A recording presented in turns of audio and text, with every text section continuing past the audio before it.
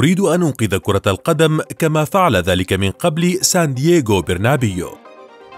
بهذه الكلمات أعلن رئيس نادي ريال مدريد الإسباني بداية عصر جديد في عالم المستديرة عصر قد يكتب بداية ثورية أو قد يكتب بداية النهاية للعبة التي لطالما عشقها الصغير والكبير والفقير والغني. قد تنقش أحلاما وتدر أموالا لا تعد ولا تحصى. وقد تعلن نهاية كرة القدم التي نعرفها اليوم. زلزال خرج من إسبانيا ودمر أوروبا والعالم.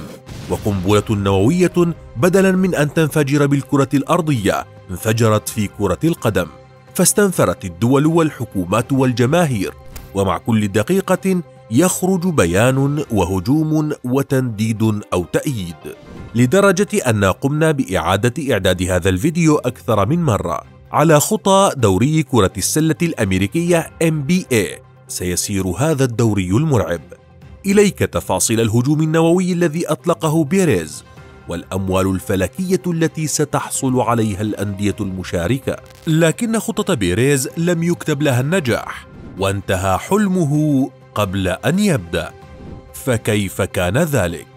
تابعوا معنا. بداية الحلم. محادثات أجريت مع بنك جي بي مورغان الذي نال دعاية تحلم بها أكبر بنوك العالم.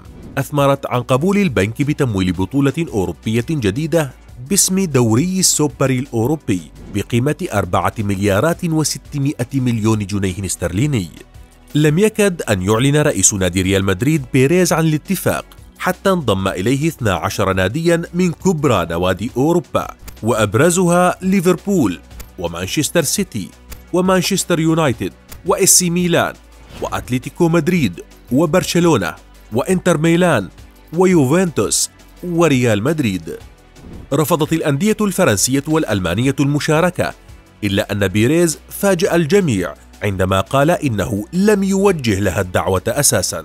وبمجرد انضمام الأندية سيوزع عليها مبلغ يصل إلى 3 مليارات و500 مليون دولار. ومن المتوقع توقيع عقود خيالية مع الشركات الناقلة لمباريات البطولة ما سيؤدي إلى زيادة العائدات الحالية من النقل التلفزيوني. كما أن الإيرادات ستتجاوز على المدى الطويل حدود العشرة مليارات يورو والأرباح السنوية ستصل لأرقام فلكية. نظام البطولة. ستقام المنافسات على شكل دوري بمشاركة عشرين فريقا.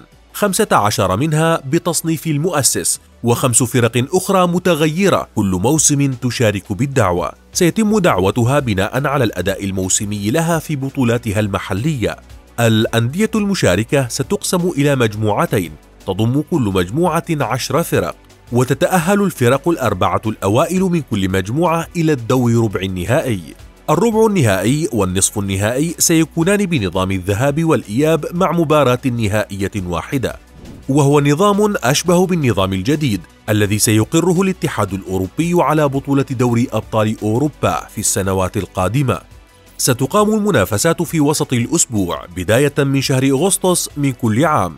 وستجري المباريات في مواعيد من المفترض أن تلعب بها النوادي مباريات دوري أبطال أوروبا. العقوبات. رفضت الفيفا إقامة البطولات خارج إطار كرة القدم الدولية وهددت اللاعبين المشاركين بمنعهم من اللعب في بطولة كأس العالم. كما هددت اليوفا بعقوبات ضد كل الأندية واللاعبين الذين سيشاركون في البطولة الجديدة حيث سيتم منع الأندية المعنية من اللعب في أي مسابقة أخرى على المستوى المحلي أو الأوروبي أو العالمي. وقد يحرم لاعبوها من فرصة تمثيل منتخباتهم الوطنية. كما أدان رئيس الوزراء البريطاني بوريس جونسون هذه الخطوة وأثنى ماكرون على الأندية الفرنسية لرفضها الانضمام للبطولة. نحو الهاوية. مستقبل كرة القدم في خطر. بتلك الكلمات عنونت غالبية الصحف العالمية الجشع والطمع الذي يقود الأندية الأوروبية لتدمير كرة القدم. وبتلك الكلمات عبر الرياضيون والإعلاميون عن أسفهم لما يحصل. يتفق الجميع على أن مستقبل كرة القدم في خطر وذلك لعدة أسباب. منها ما قاله اللاعب الألماني أوزيل أن متعة المباريات الكبيرة أنها تحدث مرة أو مرتين في السنة وليس كل أسبوع. تعرف لعبة كرة القدم بجماهيريتها الواسعة، وإذا ما تم تطبيق القرار فإن الأندية الصغيرة والمشاريع الناشئة ستهدم، ولن ترى بعد اليوم مفاجآت تحدث في عالم المستديرة.